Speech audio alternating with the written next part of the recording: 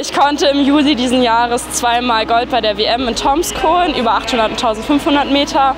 Und ansonsten halte ich noch zwei Jugendweltrekorde und einen Europarekord.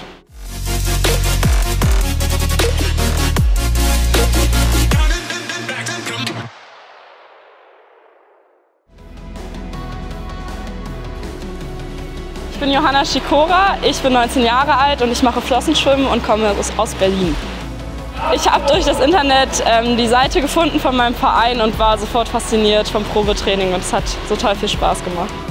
Ich habe es immer noch nicht richtig begriffen mit den beiden Goldmedaillen. Es war eine harte Zeit davor, insbesondere wegen Corona. Ich musste viel alleine trainieren und hatte ähm, nicht so richtig Zwischenwettkämpfe. Ich hatte nur dieses eine große Ziel, was irgendwie über allem stand und mir auch am Ende dann ziemlich viel Angst gemacht hat, aber ich habe es dann doch ganz gut hinbekommen, denke ich.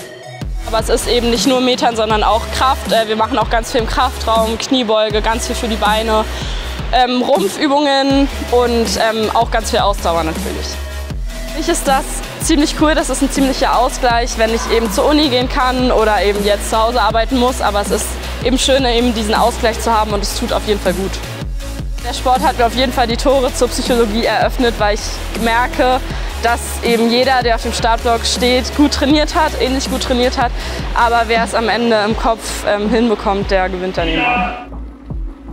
Mein Trainer und ich haben schon echt viel zusammen erlebt und ähm, das wissen, glaube ich, auch andere. Also das waren schon wirklich grenzwertige Situationen, wo eben wir immer die zusammen observiert haben und das schweißt natürlich zusammen. Im kommenden Jahr steht ganz schön viel an und zwar sind die World Games, das ist ja quasi unser Olympia.